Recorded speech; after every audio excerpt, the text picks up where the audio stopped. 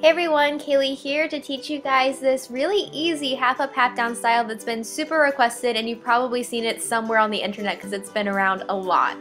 You're going to start off by sectioning your hair from the ears forward on both sides.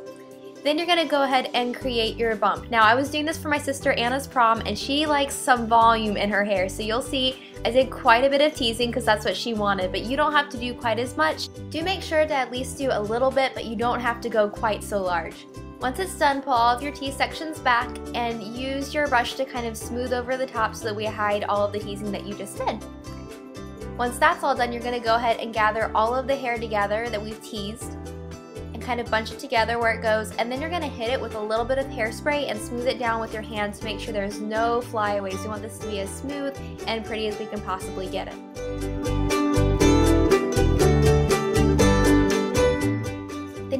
Ahead and push the bump up and pin it in place exactly where you want it, at whatever amount of lift you're comfortable with. Obviously, Anna likes a bit of lift. And then we're going to go ahead and start on the front. This is a twisting waterfall braid, so you're going to take two sections and twist them. And then you take a little section from the top, place it in the middle, and then twist the two sections over it.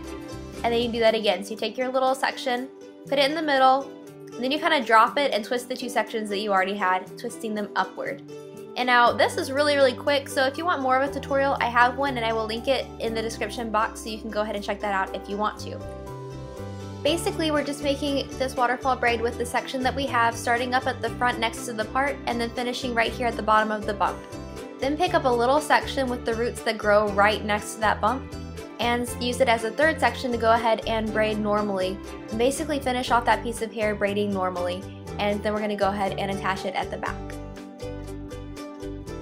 To attach it to the back, you just want to kind of drape it over top of the bobby pins that we've already placed to hold that bump in place and then pin up and into those bobby pins.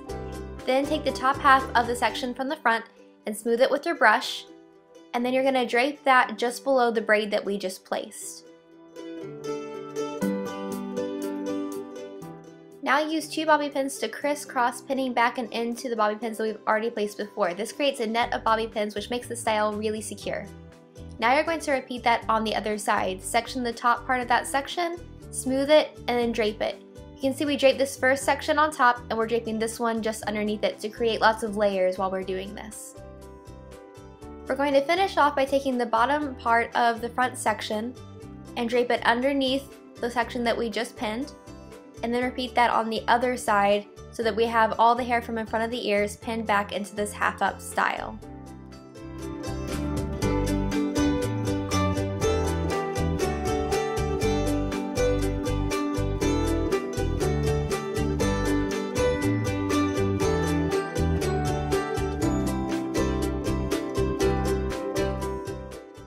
To create a cascading effect with the curls, so I'm taking a 3 quarter inch iron, and for these curls at the top, I'm pinning them back up so that they'll be very, very tight.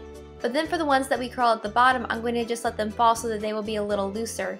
That's going to create more volume at the top and less volume at the bottom, which makes it look really cool and full and then tapering down, which creates that cascading effect.